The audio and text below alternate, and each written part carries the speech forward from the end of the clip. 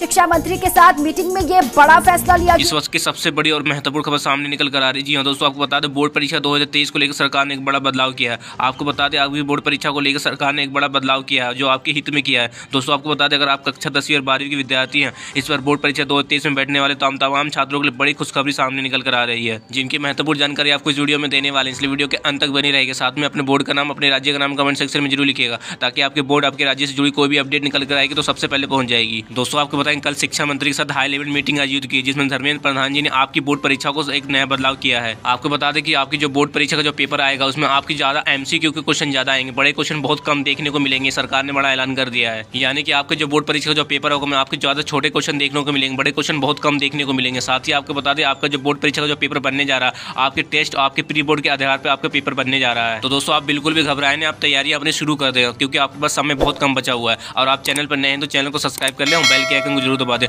ताकि बोर्ड परीक्षा दो से जुड़ी कोई भी अपडेट निकल कर आएगी तो आपको सबसे पहले इस चैनल के माध्यम से पहुँच जाएगी।